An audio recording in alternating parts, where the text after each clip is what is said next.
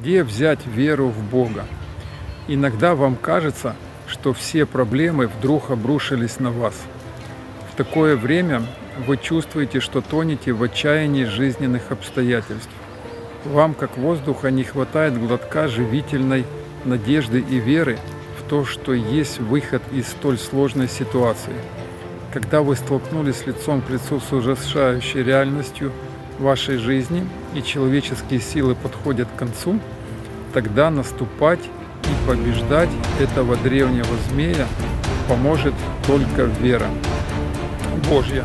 Где же взять эту всепобеждающую веру, чтобы преодолеть горы проблем, грехов и проклятий? Вера Божья находится у людей Божьих.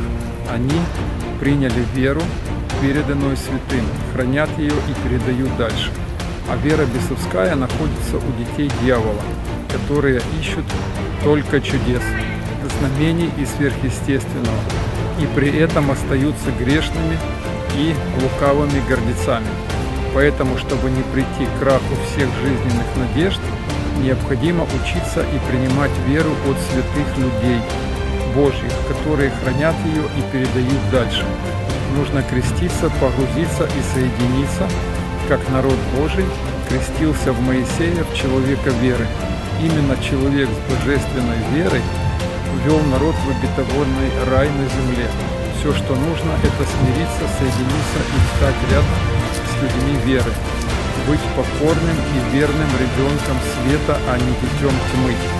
Когда вы единодушны со святыми, тогда дьявол, древний змей, не прикоснется к вам и вы сможете противостать ему твердой верой, принятой вами от святых. Смотрите канал